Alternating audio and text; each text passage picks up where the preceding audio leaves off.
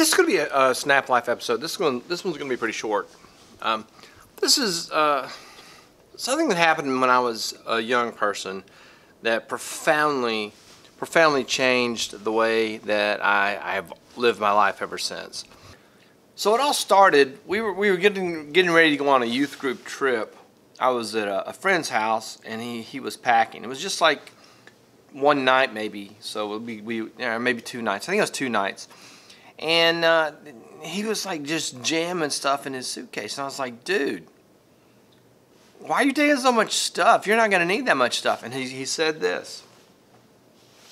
He said, I would rather have it. I'd rather have this shirt. I would rather have these extra socks and not need them than to need them and not have them. And he was probably in eighth or ninth grade when he said that. And that's like deeply profound to the extent that now I'm 56 years old and I still remember it. Would you rather have this and not need it or need it and not have it? Jumper cables in your trunk. And you have to weigh it out. So what is the consequences of driving around with jumper cables in your trunk? They're back there and if you're trying to put your groceries in, you might have to scoot them around or something. What are the consequences of not having them?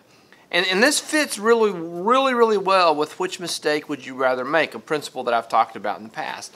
Would you rather have something that you don't need or need something that you don't have?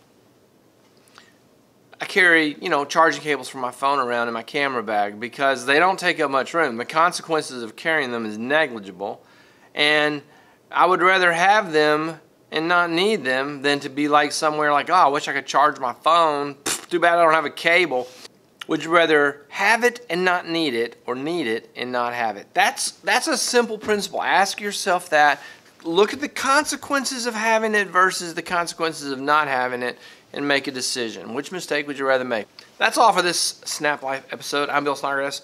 Thank you for watching.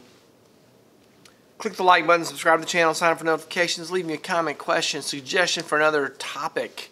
That is all for this one. I will see you in the next one.